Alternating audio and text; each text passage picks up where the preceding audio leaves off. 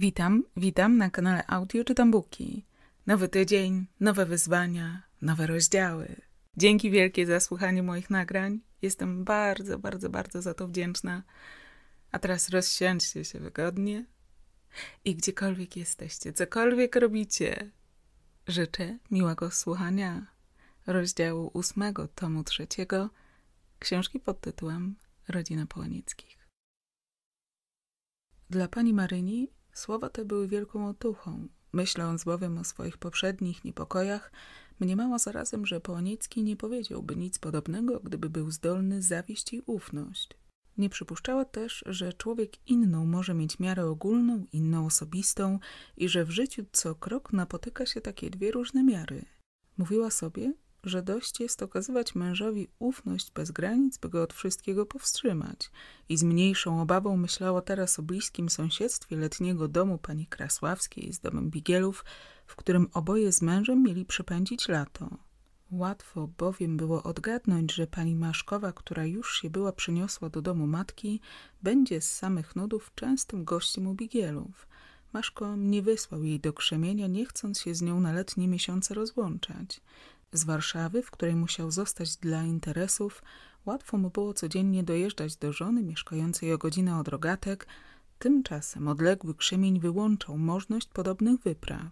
Maszce, zakochanemu szczerze w żonie, obecność jej była potrzebna jako pokrzepienie, albowiem nadchodziły znów na niego ciężkie czasy. Sama sprawa o zwalanie testamentu nie była jeszcze wcale stracona, nie brała jednak z powodu sprężystości obrony pomyślnego obrotu. Poczynała się przewlekać i ludzie poczęli o niej wątpić. Już zaś samo to było dla Maszki niemal klęską. Kredyt jego, który z początku sprawy tak był odżył i rozkwitł jak jabłoń na wiosnę, począł się powtórnie chwiać. Śledź, który był osobisty Maszki wrogiem i człowiekiem w ogóle zawziętym, nie tylko nie poprzestał na rozpuszczaniu wieści o złym położeniu swego współzawodnika, lecz postarał się, by wątpliwości co do pomyślnego zakończenia sprawy przedarły się i do prasy. Poczęła się bezlitosna wojna prawna i osobista, Maszko bowiem starał się również szkodzić wszelkimi siłami nieprzyjacielowi, a przy spotkaniach się z nim zachowywał się wprost wyzywająco. Nie przynosiło mu to jednak korzyści. Kredyt stawał się coraz trudniejszym, a wierzyciele, lubo spłacani dotąd regularnie, tracili ufność. Zaczęło się znów gorączkowe poszukiwanie pieniędzy w tym celu, by jednym długiem zepchnąć drugi i podtrzymać opinię natychmiastowej wypłacalności. Maszko zużywał na to tyle inteligencji i energii, że gdyby nie zasadniczy fałsz w jego życiowych stosunkach, byłby z tymi przymiotami doszedł do sławy i wielkiego majątku. Zwalenie testamentu mogło wszystko uratować, ale na to trzeba było czekać, a tymczasem wiązać rwące się tu i ówdzie nici, co było równie niełatwym jak upokarzającym. Przyszło do tego, że w dwa tygodnie po przeniesieniu się Połanieckich do Bigielów, gdy państwo Maszkowie przybyli do nich w odwiedziny, Maszko zmuszony był zażądać od Połanieckiego przyjacielskiej usługi, to jest podpisania wekslu na kilka tysięcy rubli. Poniecki był z natury człowiekiem uczynnym i raczej hojnym, ale miał swoją teorię, która w sprawach pieniężnych nakazywała mu być trudnym i skutkiem tego podpisu odmówił. Natomiast zaś uczęstował Maszkę swymi poglądami na kwestie pieniężne między przyjaciółmi. Gdy chodzi o nie obustronny, korzystny interes, rzekł mu, ale o usługę prywatną, odmawiam podpisu z zasady. Natomiast służę gotówką, o ile znajomy lub przyjaciel potrzebuje jej z powodu chwilowego kłopotu, nie zaś z powodu rozpaczliwego położenia. W tym ostatnim razie wolę zachować moją usłużność na później. To się znaczy, odrzekł słuchomaszką, że dajesz mi lekką nadzieję wsparcia, gdybym zbankrutował. Nie, to się znaczy, że jeśli przyjdzie katastrofa, wówczas zaciągnąwszy u mnie pożyczkę, będziesz mógł schować to, co pożyczysz lub rozpocząć z owym kapitałem coś na nowo. Obecnie rzucisz go jak w przepaść, ze szkodą dla mnie, bez pożytku dla siebie. Maszko obraził się. Mój drogi, rzekł, widzisz moje położenie w gorszym świetle niż ja sami, niż jest rzeczywiście. Właśnie jest to chwilowy kłopot i mały kłopot. Cenię twoje dobre chęci, ale dziś jeszcze nie oddałbym może moich widoków za twój gotowy majątek. Teraz zaś mam jedną przyjacielską prośbę, mianowicie, żebyśmy nie mówili o tym więcej. I obaj wrócili do pań. Maszko zły na siebie, że czegośkolwiek żądał, Połaniecki, że żądaniu odmówił. Jego teoria, iż w interesach pieniężnych należy być nieużytym, nieraz sprawiała mu podobne przykrości, nie mówiąc o szkodach, które mu w życiu przyniosła. Przy paniach jego zły humor powiększył się jeszcze z powodu porównania między panią Maszkową a Marynią.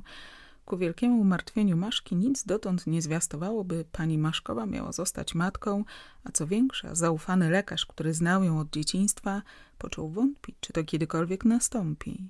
Natomiast zachowała całą wysmukłość panieńskich kształtów i teraz zwłaszcza w perkalowej letniej sukni wyglądała przy bardzo zmienionej i ociężałej Maryni nie tylko jak dziewczyna, ale jak osoba młodsza o kilka lat.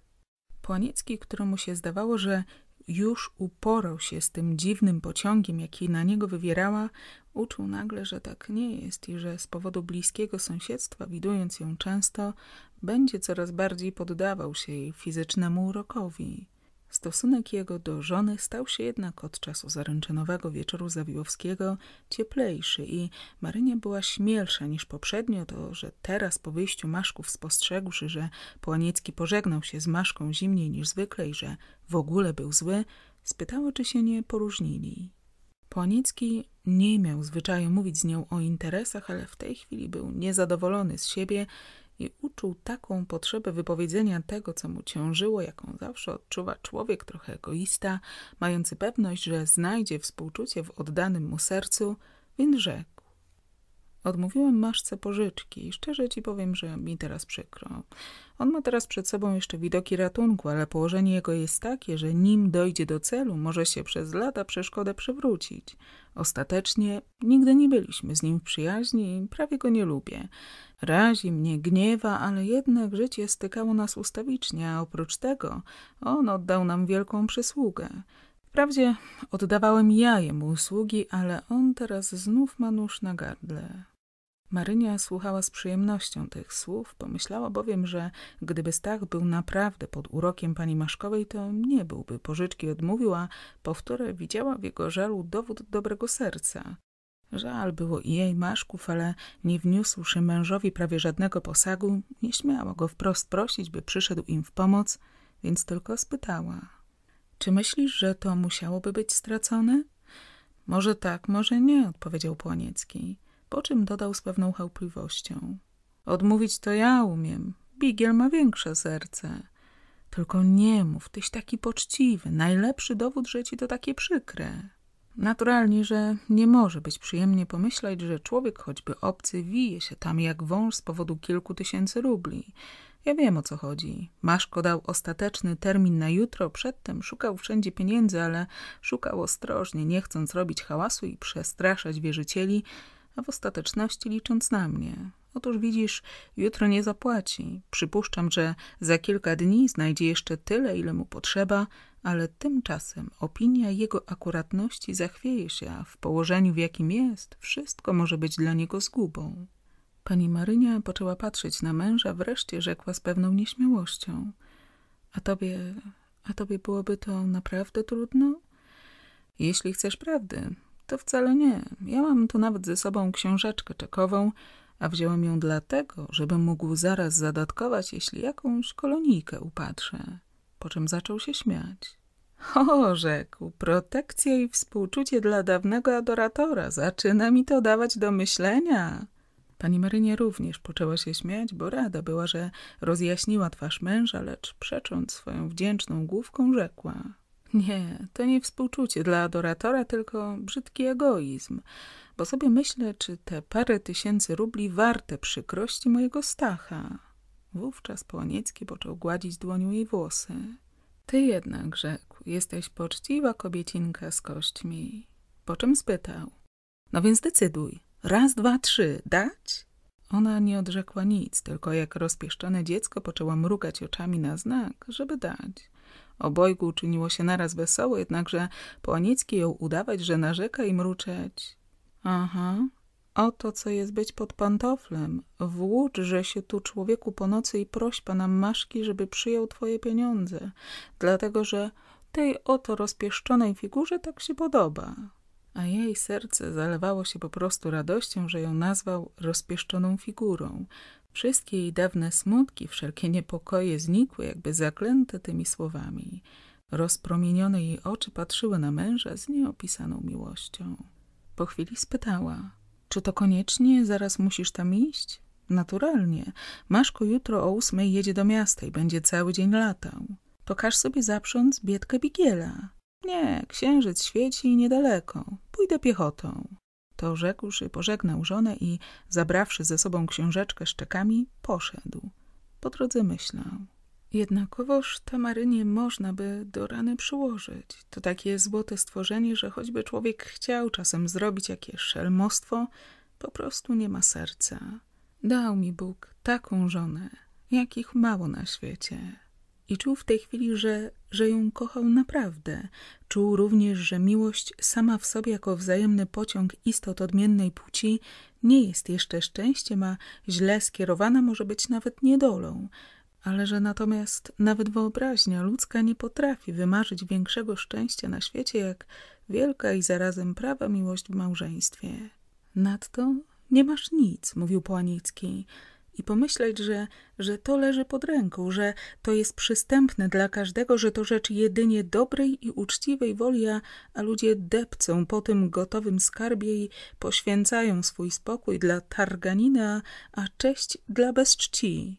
Tak rozmyślając, doszedł do willi maszków, której okna błyszczały jak wielkie latarnie na ciemnym tle lasu. Wszedłszy przez furtkę na oświecone księżycem podwórze i zbliżywszy się do ganku, ujrzał przez szyby przyległego do sieni pokoiku oboje maszków, siedzących na niskiej, skręconej w ósemkę kanapce, przy której znajdował się stolik z lampą. Maszko obejmował ramieniem stan żony, drugą zaś ręką trzymał jej dłoń, którą to podnosił do ust, to zniżał, jakby za coś dziękował. Nagle objął obu ramionami młodą kobietę, przyciągnął ją ku sobie i przechyliwszy, począł namiętnie całować jej usta, a ona zaś z rękoma opuszczonymi bezwładnie na kolana, nie oddając mu pieszczot, ale też nie broniąc się, poddawała im się tak biernie, jakby była istotą pozbawioną zarówno woli, jak i krwi. Przez chwilę Płanicki widział tylko wierzch głowy Maszki, jego długie faworyty poruszające się od posałunków i na ten widok krew uderzyła mu do głowy. Oblał go taki sam ukrop żądzy, jak wówczas, gdy szukał tasiemek do okrycia pani Osnowskiej i tym bardziej palący, że spotęgowany całym szeregiem poprzednich pokus. Ten dziwny dla samego Połanickiego czysto fizyczny pociąg, z którym od dawna walczył, odżył teraz z niepohamowaną siłą. Przez mgnienie oka zbudziły się w nim dzikie instynkta pierwotnego człowieka, który na widok pożądanej kobiety w cudzym objęciu wpada we wściekłość i gotów się o nią porwać za bary ze szczęśliwym współzawodnikiem. Wraz z rządzą zapiekła go zazdrość, nieprawa, nędzna i najniższa ze wszystkich rodzajów zazdrości, bo czysto fizyczna, a jednak tak nieokiełznana, że on, który dopiero co rozumował, iż tylko uczciwa miłość do żony może być prawdziwym szczęściem, Podeptałby w tej chwili to szczęście i tę miłość, byle móc podeptać Maszka, samemu chwycić w ramiona to wysmukłe ciało kobiece i pokrywać pocałunkami tę twarz lalki, bezmyślną i mniej piękną od twarzy jego własnej żony. Tymczasem ów widok przez szyby nie tylko wzburzył go, ale stał mu się nieznośnym, więc poskoczywszy do drzwi, pociągnął gorączkowo za dzwonek i myśl, że ów dźwięk, który nagle rozległ się wśród ciszy, musiał przerwać małżeńskie pieszczoty, sprawiła mu jakąś dziką i złośliwą radość. Gdy służący otworzył drzwi, kazał się oznajmić, sam zaś usiłował uspokoić się i ułożyć jako tako to, co miał powiedzieć Maszce. Po chwili Maszko wyszedł do niego z twarzą nieco zdziwioną. Wybacz, że przychodzę tak późno, rzekł Poniecki, ale żona zburczała mnie za to, żem ci odmówił usługi, że zaś wiem, iż wyjeżdżasz jutro rano, przyszedłem dziś jeszcze, by tę sprawę załatwić. Na twarzy Maszki odbiła się tajemna radość. Domyślił się on od razu, że tak późne odwiedziny Połanieckiego mają jakiś związek z ich poprzednią rozmową. Nie spodziewał się jednak, że rzecz od razu pójdzie tak gładko. Proszę cię, rzekł, żona moja jeszcze nie śpi. I wprowadził go do tegoż samego pokoju, w którego wnętrze Połanicki spoglądał przed chwilą przez szyby. Pani Maszkowa, siedząc na tej samej kanapce, trzymała w ręku nóż do rozcinania kartek i książkę, którą widocznie przed chwilą wzięła ze stolika. Zgaszona jej twarz wydawała się spokojną, ale na policzkach widać było ślady świeżych pocałunków i usta miała wilgotne, a oczy mgliste. W Płanickim znów zawrzała krew i mimo wszelkich wysiłków, by zachować się obojętnie, ścisnął tak silnie podaną sobie rękę, że usta pani Maszkowej ściągnęły się jakby z bólu. Jego zaś, z chwilą, gdy dotknął jej ręki, mrowie przebiegło od stóp do głów. Było w tym samym jej podaniu dłoni coś tak biernego, że mimowoli przeleciało mu przez głowę, że ta kobieta nie jest zdolną do żadnego oporu względem kogokolwiek, kto będzie miał odwagę i zuchwałość zdobyć się na prosty zamach. Tymczasem Maszko począł mówić. Wyobraź sobie, żeśmy obaj dostali burę. Ty żeś mi usługi odmówił, a ja, żem jej zażądał. Ty masz poczciwą żonę, ale i moja nie gorsza. Twoja wzięła mnie w obronę, a moja ciebie. Przyznałem jej się otwarcie do chwilowego kłopotu, a ona wyłajała mnie, żem tego od razu nie uczynił. Oczywiście nie mówiła do mnie jak prawnik, bo o tym nie ma pojęcia, ale koniec końcem powiedziała mi, że pan Połaniecki słusznie mi odmówił, że trzeba wierzycielowi dać jakąś pewność i że tę pewność ona gotowa jest dać na swoim dożywociu i w ogóle na wszystkim, co jest jej. Właśnie dziękowałem jej za jej poczciwość w chwili, gdyś nadszedł. Tłumaszko położył rękę na ramieniu Połanickiego. Mój kochany, rzekł, zgodzę się z tobą, że twoja pani jest najlepsza w świecie istota, a zgodzę się tym bardziej, że mam świeży tego dowód pod warunkiem jednak, iż mi przyznasz, że moja nie gorsza. Nie powinno cię też dziwić, że chowam przed nią moje kłopoty, Dali Bóg, dobrem gotów jestem się z takim kochanym stworzeniem zawsze podzielić, ale złem, tym bardziej chwilowe, zachowuję tylko dla siebie i gdyby się znał tak jak ja, to byś się temu nie dziwił. Płaniecki, który poza całą pokusą, jaką dla niego była pani Maszkowa, nie miał wcale o niej wygórowanego pojęcia i bynajmniej nie uważał jej za zdolną do ofiar, pomyślał. Albo to jest naprawdę dobra kobieta i ja się mylę, Albo Maszko okłamał ją tak, iż istotnie uważa jego położenie za świetne, a kłopot za zupełnie chwilowy. I głośno rzekł do niej. Ja jestem człowiek ścisły w interesach, ale za kogo mnie pani ma, przypuszczając, że żądałbym jakiejś pewności na majątku pani? Odmówiłem jedynie przez lenistwo i ogromnie się wstydzę. Odmówiłem dlatego, by w danym razie nie potrzebować jeździć do Warszawy po nowe zapasy.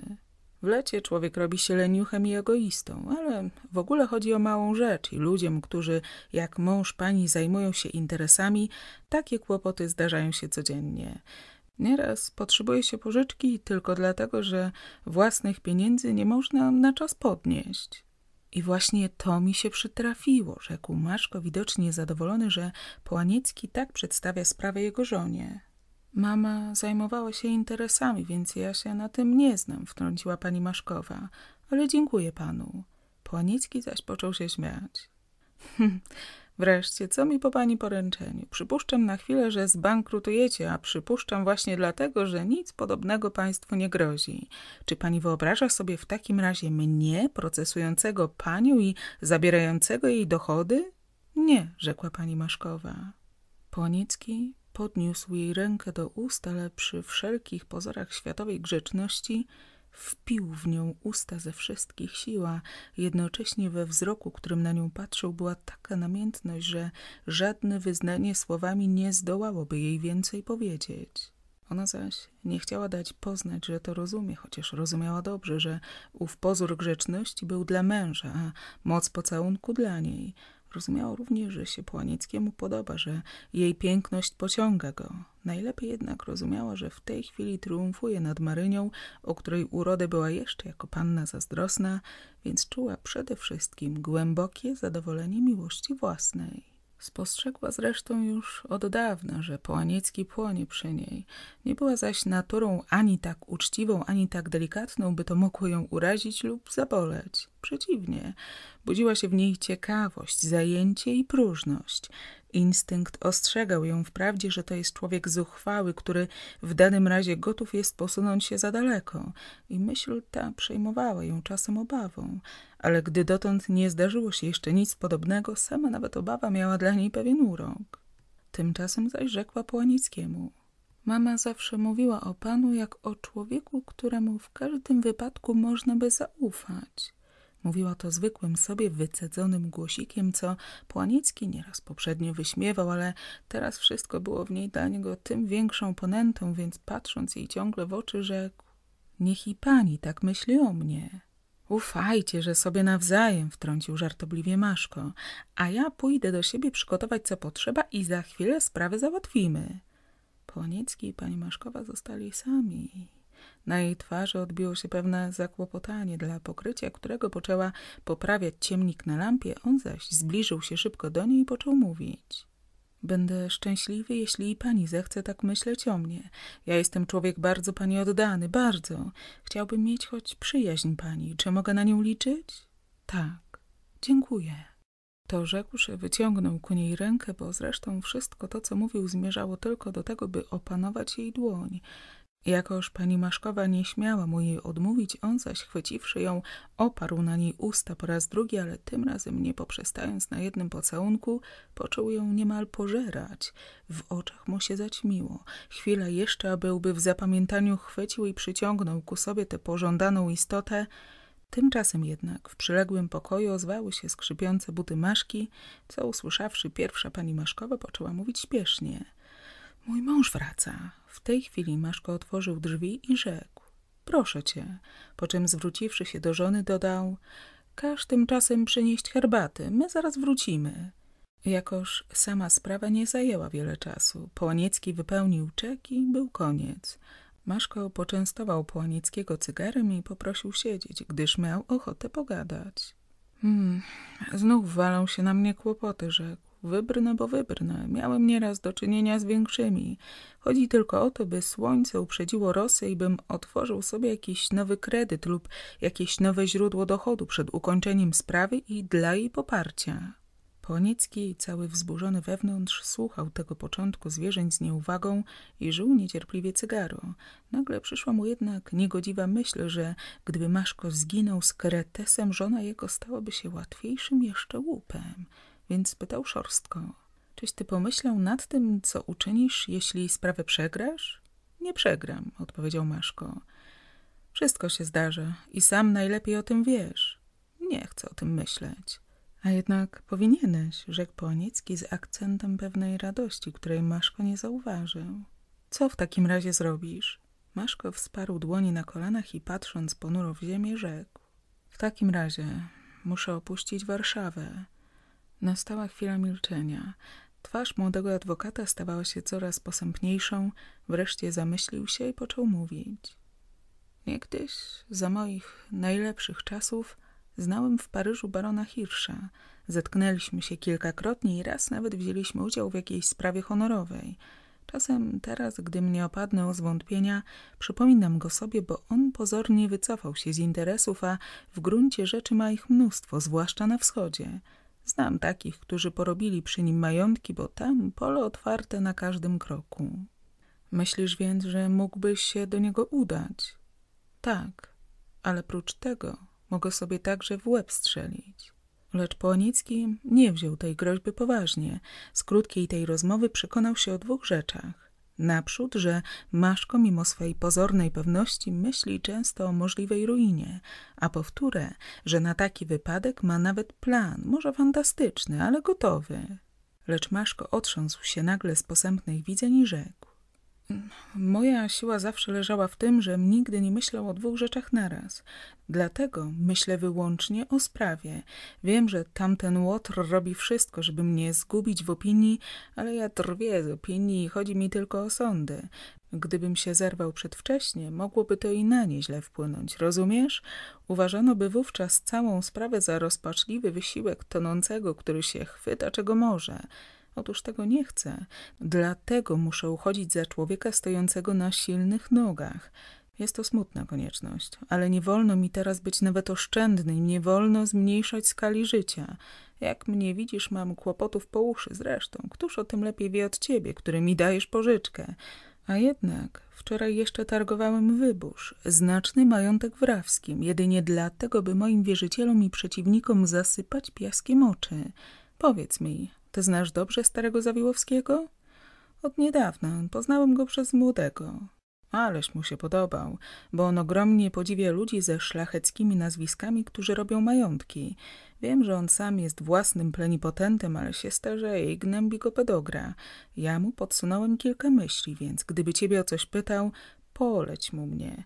Rozumiesz, że nie chcę dobrać się do jego kasy, chociaż jako pełnomocnik miałbym jakieś dochody, ale głównie chodzi mi o to, by się rozgłosiło, żem został pełnomocnikiem takiego milionera.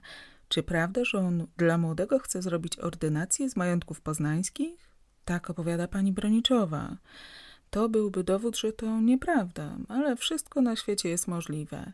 Każdym razie i ten młody weźmie za żoną jakiś posag, a jako poeta nie ma pewno najmniejszego pojęcia, jak się z takimi rzeczami obchodzić.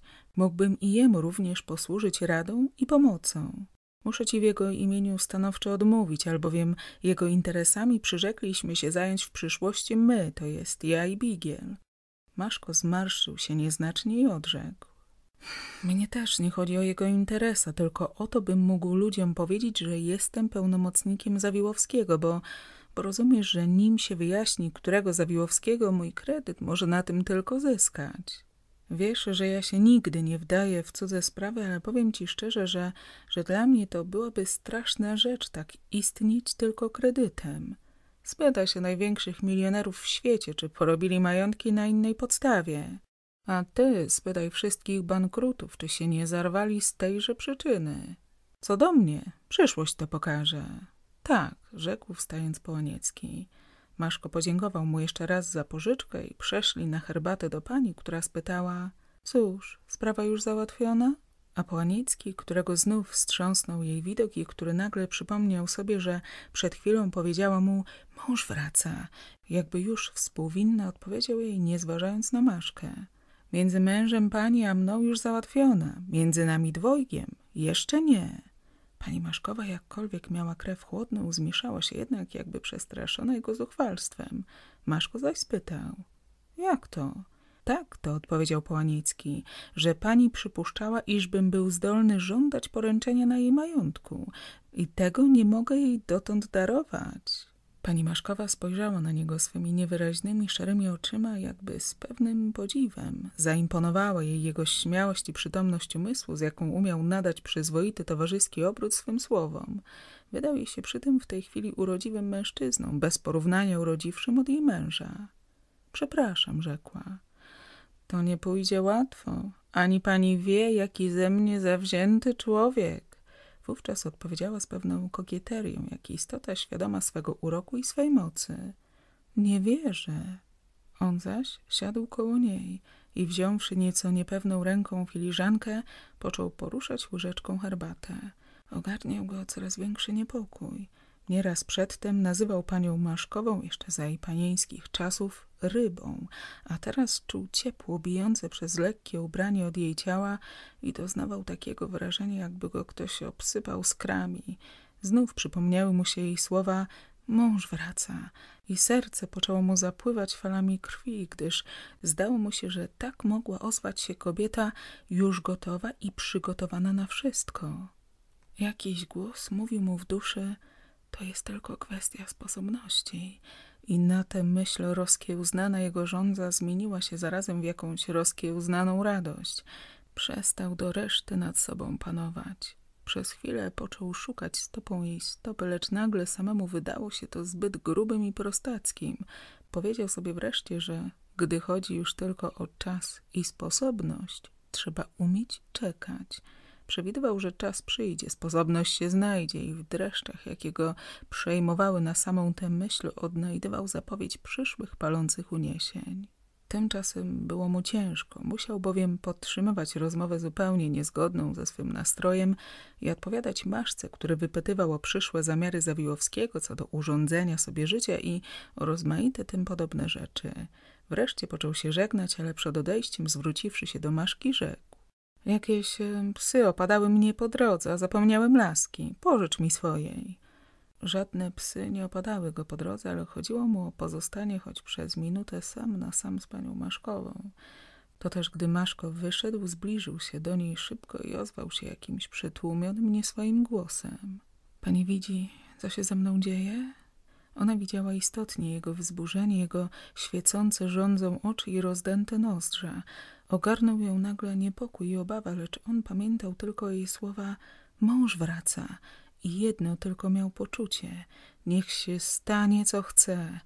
I ten sam człowiek, który przed chwilą mówił sobie, że trzeba umieć czekać, teraz, stawiając wszystko w mgnieniu oka na jedną kartę, szepnął ja panią kocham a ona stała przed nim ze spuszczonymi oczyma, jakby ogłuszona i zmieniona w słup pod wpływem tych słów, od których musiało się już zacząć proste przeniewierstwo, a, a zatem nowa epoka w jej życiu. Odwracała tylko nieco głowę, jakby pragnąc uniknąć jego wzroku. Nastało milczenie, słychać było tylko zdyszany nieco oddech Połanieckiego, lecz w przyległym pokoju ozwały się znów skrzypiące buty Maszki. Do jutra, szepnął Połaniecki i w tym szepcie było niemal coś rozkazującego. Pani Maszkowa stała ciągle bez ruchu, ze spuszczonymi oczyma, jak słup. Oto jest laska, rzekł Maszko. Ja jutro rano wyjeżdżam do miasta i wrócę dopiero wieczorem. Jeśli będzie pogoda, to może państwo zechcecie odwiedzić moją pustelnicę. Dobranoc, rzekł Połaniecki. I po chwili znalazł się na pustej, oświeconej przez księżyc drodze. Zdawało mu się, że wyskoczył z płomieni. Cisza nocy i lasu była czymś tak sprzecznym z jego wzburzeniem, że uderzyła go jakby coś nadzwyczajnego.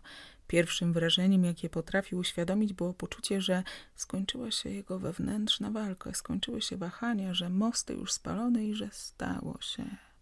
Jakiś głos wewnętrzny począł mu krzyczeć w duszy, iż stało się przede wszystkim to, iż jest nędznikiem, ale, ale właśnie w tej myśli tkwiła jakaś desperacka ulga, albowiem mówił sobie, że skoro tak jest, więc musi zgodzić się na siebie jako na nędznika. W takim razie niech wszystko przepada i niech wszystko diabli biorą. Nędznik nie potrzebuje przynajmniej walczyć ze sobą i może dać sobie folgę. Tak jest. Stało się i mosty spalone. Sprzeniewierzy się Maryni, zdepce jej serce, zdepce uczciwość, zdepce zasady, na których budował życie, ale w zamian, w zamian będzie miał panią Maszkową. Teraz jedno z dwojga. Albo ona oskarży go przed mężem i jutro nastąpi pojedynek, co jeśli się stanie, to niech się stanie, albo będzie milczała, a w takim razie zostanie jego wspólniczką. Jutro Maszko wyjedzie, on zaś posiądzie wszystko, czego pragnie, choćby po tym miał się świat zapaść. Ona, jeśli go nie oskarży, to lepiej nie próbować oporu. Wyobrażał też sobie, że go nie będzie próbowała, albo uczyni to tylko dla zachowania pozorów i poczęło w nim wrzeć na nowo. Ta jej bezwładność, która budziła w nim niegdyś tyle pogardy, stała mu się teraz jedną więcej ponętą. Wyobrażał sobie dzień jutrzejszy i bierność tej kobiety. Mimo całego zamętu myśli rozumiał doskonale, że ona właśnie w tej bierności będzie później szukała dla siebie wymówki, iż powie sobie, że nie przyłożyła się do winy, że ją do niej zmuszono i w ten sposób będzie okłamywała własne sumienie Boga, a w razie potrzeby męża.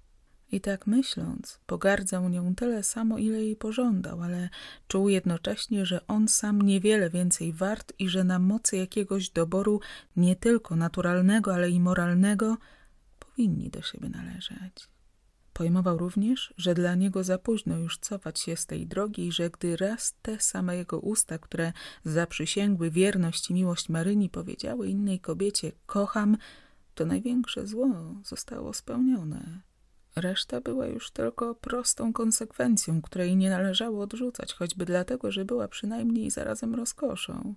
Wyobrażał sobie, że tak muszą rozumować wszyscy, którzy, wyrzucając za okno uczciwość, decydują się na szelmostwo, ale samo rozumowanie wydało mu się równie słusznym jak niemoralnym i w miarę jak poczynał myśleć trzeźwiej zdumywał się nad własnym zepsuciem. Widywał dużo zła i brudu ukrytego w świecie pod pozorami poloru i ogłady. Wiedział, że owo zepsucie wyrobiło sobie niejako pod wpływem lichych książek prawo obywatelstwa, ale pamiętał, że oburzał się tym, że chciał dla swego społeczeństwa prostoty i surowości obyczajów, w przekonaniu, że tylko na takich podstawach może rozwinąć się społeczna tęgość i oporność. Nic nie wzbudzało w nim tyle obaw o przyszłość, ile to wykwintne zło zachodu, posiane na dziką słowiańską glebę i wyrastające na niej chorobliwym kwiatem dyletantyzmu, rozpusty, bezsilności i wiarołomstwa. Przypomniał sobie, że nieraz oskarżał o taki posiew to wysokie sfery finansowe, to arystokrację rodu i nieraz napadał na nie z tego powodu bez miłosierdzia – a teraz zrozumiał, że kto żyje w atmosferze przesyconej kwasem węglowym, ten musi się zaczadzić. W czymże on był lepszy od innych? O ile raczej był gorszym od tych, którzy pławiąc się w zepsuciu jak kijanki w wodzie, nie bawili się przynajmniej w hipokryzję, nie oszukiwali samych siebie, nie przepisywali innym praw i nie stawiali ideału zdrowego duchowo człowieka, uczciwego męża, uczciwego ojca jako obowiązującego wzoru – i prawie nie chciał wierzyć sobie, by był tym samym człowiekiem, który niegdyś umiał kochać idealną przyjaźnią panią Emilię, który szczerze przyrzekł Maryni uczciwość małżeńską i który wreszcie uważał się za umysł jasny, charakter bardziej prawy i silniejszy od innych.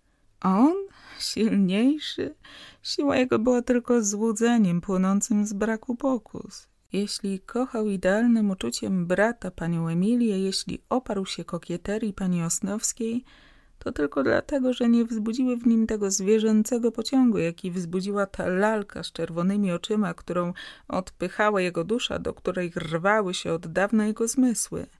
Myślał też teraz, że jego uczucie dla Maryni nie było także nigdy uczciwym, bo w gruncie rzeczy nie było również czym innym jak takim samym zwierzęcym pociągiem. Przyzwyczajenie stępiło go, więc powstrzymany prócz tego i przez stan Maryni zwrócił się tam, dokąd mógł i zwrócił się bez żadnego hamulca ni skrupułu ledwie w pół roku po ślubie. I Płanicki, który wyszedłszy od maszków, miał poczucie, że jest nędznikiem, począł nagle miarkować, że jest większym nędznikiem niż zrazu myślał, albowiem przypomniał sobie także, że ma zostać ojcem. W domu w oknach Maryni światła nie były jeszcze pogaszone. Płanicki byłby dał wiele za to, by ją zastać już śpiącą. Przyszło mu nawet na myśl pójść dalej i nie wrócić, póki w oknach nie będzie ciemno, ale, ale nagle zobaczył jej sylwetkę na szybie. Musiała go wyglądać i ponieważ przed domem było jasno, musiała go dostrzec. Pomiarkowawszy to, wszedł. Przyjęła go już w białym nocnym kaftaniku i z rozwiązanymi włosami. Była w tych rozwiązanych włosach pewna umyślna kokieteria, bo wiedziała, że ma piękne i że on lubi się z nimi bawić. Czemuś ty się nie położyła? spytał wchodząc. A ona zbliżyła się ku niemu senna, ale uśmiechnięta i rzekła Czekałam na ciebie z pacierzem. Od czasów pobytu w Rzymie odmawiali pacierz razem, ale obecnie Połanickiemu sama myśl o tym wydała się nie do zniesienia. Marynia tymczasem zaczęła pytać. Cóż, Stachu, kontent jesteś, żeś go poratował? Prawda, żeś kontent? Tak, odpowiedział Połaniecki. A ona, czy wie o jego położeniu? Wie i nie wie. Późno już, pójdźmy spać. Dobranoc. Wiesz, o czym tu sama rozmyślałam? Żeś ty taki poczciwy i, i taki dobry. I wyciągnąwszy ku niemu twarz, objęła go za szyję, on zaś ucałował ją, czując jednocześnie i czystą prawość tego pocałunku i swoją podłość i całe szeregi podłości, które przyjdzie mu spełnić następnie. Jedną spełnił zaraz, klęknąwszy do pacierza, który Marynia poczęła głośno odmawiać – nie mógł tego uczynić, a czyniąc to odgrywał tylko nędzną komedię, bo nie mógł się modlić. Po skończonym pacierzu i powtórnym dobranoc nie mógł również usnąć. Zdawało mu się, że idąc od maszków objął myślą i swój postępek i wszelkie jego moralne wyniki Tymczasem okazało się, że, że nie. Przyszło mu teraz do głowy, że w Boga można nie wierzyć, ale nie wolno z niego drwić. Spełnić na przykład wiarołomstwo, wrócić jutro lub pojutrze po dokonanym cudzołóstwie do domu i klęknąć do pacierza, to byłoby nadto. Czuł, że trzeba wybrać. Albo uczucie religijne i szczera wiara, albo pani Maszkowa. Godzić tego nie można – i nagle spostrzegł, że wszystko, co przez lata rozmyślań wyrobił i wypracował w sobie, że cały ten ogromny spokój płynący z rozwiązania głównej zagadki życia, słowem to, co stanowiło istotę jego duchowego bytu, trzeba po prostu odepchnąć. Z drugiej strony rozumiał również, że od jutra trzeba będzie zacząć kłamać swoim zasadom społecznym, swemu uznaniu rodziny jako podstawy społecznego bytu. Nie wolno również głosić takich zasad, a prywatnie uwodzić cudze żony. Trzeba także wybrać. Co do Maryni, kłamstwo w stosunku do niej już zostało spełnione. Tak więc za jednym zamachem szedł w ruinę jego stosunek do Boga, do społeczeństwa, do kobiety, słowem pułapowego pracowicie dźwigniętego duchowego domu, w którym dotychczas mieszkał, walił mu się na głowę. I to zazębianie się złego przejęło go pewnym zdumieniem. Nie spodziewał się, żeby po przecięciu jednej nitki cały szef pruł się tak nagle i z pewnym zdziwieniem począł sobie zadawać pytanie, jakim sposobem może istnieć na świecie tego rodzaju oportunizm, który wiarołomstwo godzi w życiu z uczciwością i honorem. Bo jednak tak było. Znał wielu tak zwanych porządnych ludzi, żonatych, kochających żony, niby religijnych i zarazem uganiających się za każdą spotkaną kobietą. Ci sami, którzy by żonom swoim wszelkie zboczenie z drogi obowiązku poczytywali za zbrodnie, pozwalali sobie na małżeńską niewiarę bez żadnego skrupułu. Przypomniał sobie, jak ktoś z jego znajomych przyparty z tego powodu do muru wykręcił się wesoło znanym brukowym dowcipem, iż nie jest szwedzką zapałką. Ostatecznie wiarłomstwo utarło się i między mężczyznami uchodziło za coś dozwolonego, niemal zazwyczaj. Płanickiemu myśl ta przyniosła chwilę ulgi, ale, ale krótką. Był bowiem człowiekiem logicznym, jeśli nie w postępkach, to przynajmniej w rozumowaniu. Tak, świat nie składa się z samych łotrów i hipokrytów, ale w znakomitej części składa się z ludzi lekkich i bezmyślnych. I ten oportunizm godzący cudzołóstwo z pojęciem honoru i uczciwości nie jest niczym innym jak bezmyślnością – w czym bowiem może rozgrzeszać zwyczaj człowieka, który uznaje niemoralność i głupotę tego zwyczaju? Dla durnia, myślał Połaniecki, wiarłomstwo może być wesołym wypadkiem. Dla człowieka umiejącego poważnie myśleć jest łotrostwem tak dobrze przeciwnym etyce jak złodziejstwo, jak podpisywanie cudzych nazwisk na wekslach, jak łamanie przysięgi, jak łamanie słowa, jak oszustwo w handlu lub kartach. Religia może odpuszczać grzech cudzołóstwa jako chwilowy upadek, ale cudzołóstwo, które się samo z góry rozgrzesza, wyłącza religię, wyłącza obywatelskość, wyłącza uczciwość, wyłącza honor.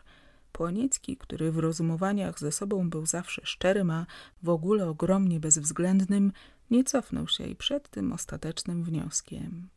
Natomiast zląkł się, jakby ujrzał przepaść. Jeśli się nie cofnie, skręci kark – ale jednocześnie począł gryźć się własną słabością. Już znał się dostatecznie i z żalem, a zarazem z pogardą dla własnej słabości z góry był przekonany, że, że gdy zobaczy panią Maszkową, zwierzę ludzkie weźmie w nim górę nad duszą. Cofnąć się? Wszak on powtarzał to sobie i powtarzał po każdej pokusie, a potem wobec każdej następnej namiętność unosiła na złamanie karku jego wolę, tak jak dziki koniu nosi jeźdźca. Na samo to wspomnienie chciało mu się kląć. Gdyby w domu był nieszczęśliwym, gdyby jego namiętność wyrosła na tle wielkiej miłości, miałby coś na jej usprawiedliwienie. Ale on pani Maszkowej nie kochał, tylko jej pragnął. Z tego rozdwojenia natury ludzkiej nie umiał sobie nigdy zdać sprawy, wiedział tylko, że pragnął i że będzie pragnął za każdym widzeniem, za każdą myślą o niej. Więc pozostawałaby jedna rada – nie widywać jej. Rada niemożliwa. Nie tylko ze względu na wszelkiego rodzaju stosunki i znajomości, ale choćby ze względu na to, że w takim razie Marynia poczęłaby coś podejrzewać. Płanicki ani przypuszczał, że to już miało miejsce i że ona ukryła tylko przed nim cierpienie. Zdawał sobie jednak sprawę, że gdyby zdrada jego wyszła w jakikolwiek sposób na jaw, byłby to dla tej słodkiej, pełnej wiary kobiety cios wprost nad siły i wyrzuty jego wzrosły jeszcze. Chwycił go ogromny żal i litość nad nią, a, zarazem tym większa pogarda dla siebie. Mimo ciemności krew przypłynęła mu do twarzy na wspomnienie iż Maszkowej powiedział kocham, że fatalne słowo już padło, że zawiódł i zdradził to poczciwe, prawe stworzenie i że byłby zdolny zawieść jej ufność i podeptać serce. Przez chwilę wydało mu się to czystym niepodobieństwem, lecz sumienie odpowiedziało mu byłbyś zdolny Jednakże w tym żalu i litości nad nią znalazł pewną pociechę, gdyż poznał, że uczucie jego dla niej było i jest czymś więcej niż zwierzęcym pociągiem i że tkwiły w nim jakieś węzły płynące ze wspólności pożycia, z wzajemnej przynależności, ze ślubu, ze, ze stowarzyszenia się na złą i dobrą dolę, z wielkiego szacunku i z przywiązania, które w przyszłości miało być spotęgowane przez dziecko. Nigdy też nie kochał jej więcej jak w tej chwili wewnętrznej rozterki i nigdy nie budziła w nim większej tkliwości. Poczęło dnieć. Przez szparę okiennicy wchodził brzask i napełniał pokój bladym światłem, przy którym widać było niewyraźnie jej ciemną, wgłębioną w poduszki głowę. Płanieckiemu zaś serce przepełniło się poczuciem, że, że to jest jego jedyne i najwyższe dobro, że tam śpi jego bardzo kochana towarzyszka, najlepsza przyjaciółka, żona i przyszła matka jego dziecka i że żadne wywody, żadne rozumowanie nad religijną i społeczną niecnością cudzołóstwa nie napełniły go takim ku niemu i ku sobie obrzydzeniem, jak widok tej słodkiej, uśpionej twarzy. Światła przez szpary wchodziło coraz więcej, główka jej coraz wyraźniej wychylała się z cienia. Widać już było półkola i ciemnych rzęs na policzkach i Połaniecki, wpatrując się w nią, począł sobie mówić — Twoja poczciwość mi pomoże — Nagle lepsze uczucia wzięły w nim górę. Zwierzę ustąpiło duszy i ogarnęła go pewna otucha. Pomyślał bowiem, że gdyby był takim nędznikiem, jak sobie wyobrażał, byłby z lżejszym sercem poszedł za głosem namiętności i nie przechodził takich zgryzot. Nazajutrz zbudził się późno, zmęczony i nieco chory. Czuł jakieś zniechęcenie i wyczerpanie, którego przedtem nie doświadczał. Przy świetle dziennym, a w dodatku przy świetle dnia czczystego i posępnego, cała sprawa przedstawiła mu się inaczej, trzeźwiej, pospoliciej i ani przyszłość nie przedstawiała mu się tak groźną, ani wina tak wielką. Wszystko zmalało w jego oczach. Począł teraz myśleć głównie nad tym, czy pani Maszkowa przyznała się do wszystkiego mężowi, czy nie. Chwilami przypuszczał, że tak, i na tę myśl doznawał takiego uczucia, jakiego doznaje człowiek, który niepotrzebnie znalazł wielki i przykry kłopot. Zwolna jednak to uczucie zmieniało się w coraz większy i żywszy niepokój. Położenie jest głupie, mówił sobie. Maszce wszystko można zarzucić, ale nie jest ani niedołęgą, ani tchórzem i podobnej obelgi nie schowa do kieszeni, więc wyjaśnienie, awantura, może pojedynek – Niechże to piorun trzaśnie. Co za fatalna historia, jeśli rzecz dojdzie do Maryni. I począł się złościć na cały świat. Oto dotąd miał zupełny spokój, o nikogo nie dbał, z nikim się nie liczył. Dziś zaś obracał na wszystkie strony w głowie wyrazy powiedziała, nie powiedziała. I od rana nie mógł o niczym innym myśleć. Przyszło do tego, że wreszcie zadał sobie pytanie, co u licha, czy ja się maszki boję? Ja? Ale on się Maszki nie bał, tylko Maryni, co było również dla niego czymś nowym i zdumiewającym, albowiem przed paroma jeszcze dniami byłby raczej wszystko przypuścił, niż to, że się jej będzie kiedykolwiek bał. I w miarę jak zbliżało się południe, sprawa, która rano przedstawiła mu się w zmniejszonych rozmiarach, poczęła znów rosnąć w jego oczach. Chwilami pokrzepiał się nadzieją, że pani Maszkowa będzie milczała. Chwilami ją tracił i wówczas czuł, że nie tylko Marynie, ale nikomu nie będzie śmiał spojrzeć w oczy i, i bał się także Bigiela. Bał się Bigielowej, pani Emilii, Zawiłowskiego, słowem wszystkich znajomych. Oto, co jest nabroić, myślał sobie. Ile jedno głupstwo kosztuje. Niepokój jego zwiększył się do tego stopnia, że wreszcie pod pozorem odesłania laski wysłał służącego chłopaka do pani Maszkowej z ukłonem i zapytaniem o zdrowie. Służący wrócił w pół godziny. Płanicki widział go przez okno i zeszedłszy spiesznie na jego spotkanie, dowiedział się, że przyniósł list od pani Maszkowej do... do Maryni.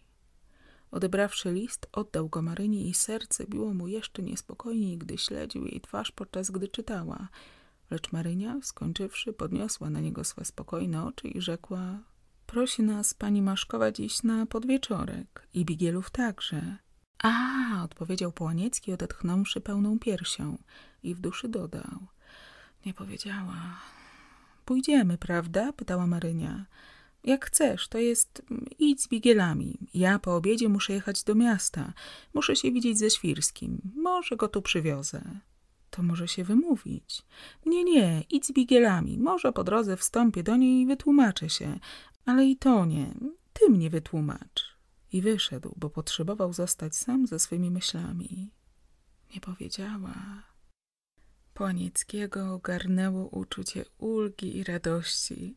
Nie powiedziała mężowi, nie obraziła się, zaprosiła ich, zatem zgadza się na wszystko, gotowa iść dalej i dojść wszędzie, dokąd ją będzie chciał zaprowadzić. Czemże jest samo to zaproszenie, jeśli nie chęcią uspokojenia go, jeśli nie odpowiedzią na jego do jutra?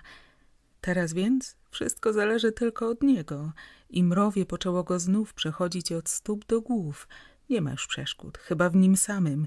Ryba połknęła haczyk. Pokusy opadły go z nową potęgą, bo nie hamowała już ich niepewność.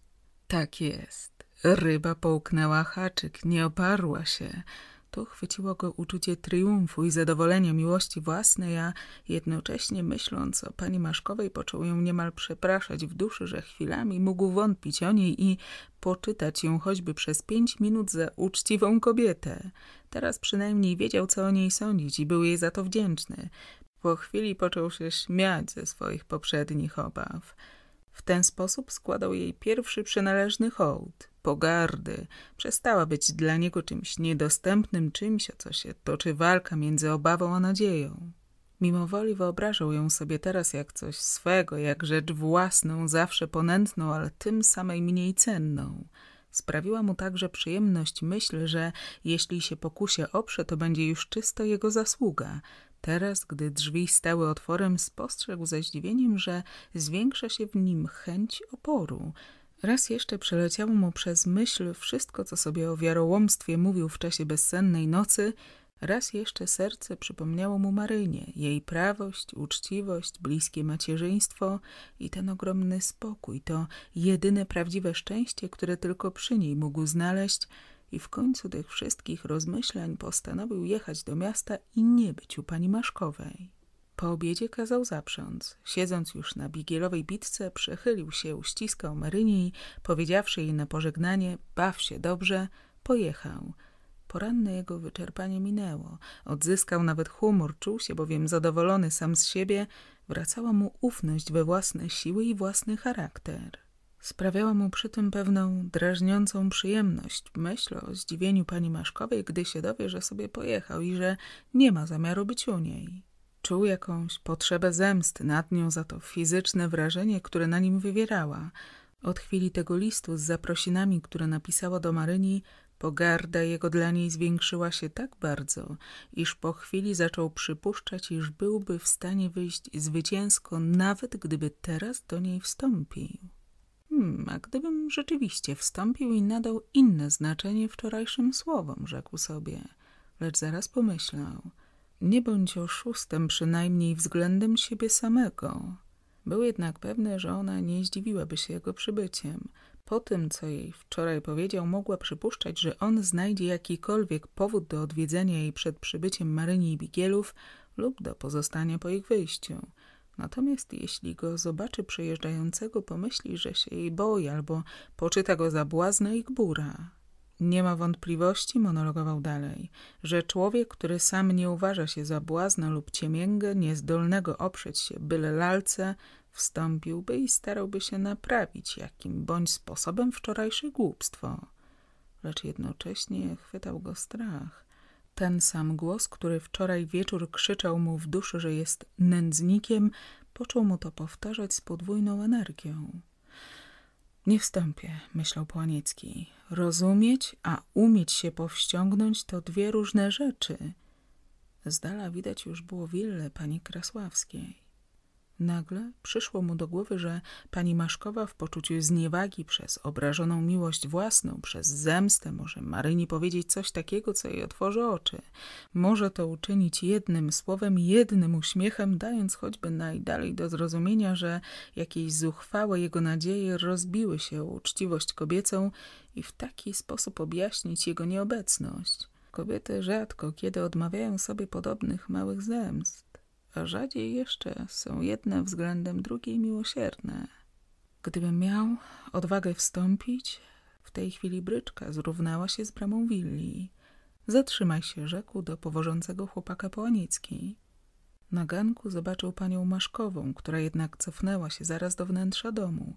Połaniecki przeszedł dziedziniec, we drzwiach przyjął go służący. Pani na górze, rzekł. Połaniecki czuł, że nogi drżą pod nim, gdy wchodził na piętro. Tymczasem zaś przez głowę przelatywały mu następujące myśli. Kto życie bierze lekko, ten może sobie na wszystko pozwolić, ale, ale ja go nie biorę lekko. Gdybym po tym wszystkim, com uświadomił, com przemyślał i com sobie powiedział, nie umiał nad sobą zapanować, byłbym ostatnim człowiekiem. Tu, stanąwszy we drzwiach pokoju, który mu wskazał służący, spytał. Można? Proszę, ozwał się przecydzony głosik. I po chwili znalazł się w buduarku pani Maszkowej. Wstąpiłem, rzekł podając jej rękę, by się wytłumaczyć, że nie mogę być na podwieczorku. Muszę jechać do miasta. Pani Maszkowa zaś stała przed nim z pochyloną nieco głową, ze spuszczonymi oczyma, zmieszana, pełna widocznej obawy, mając w postawie i wyrazie twarzy coś ze zrezygnowanej ofiary, która widzi, że stanowcza godzina nadeszła i że nieszczęście stać się musi. Nastrój ten ogarnął w jednej chwili Połanieckiego, więc przysunąwszy się nagle, począł pytać stłumionym głosem. Pani się boi? Czemu pani się boi?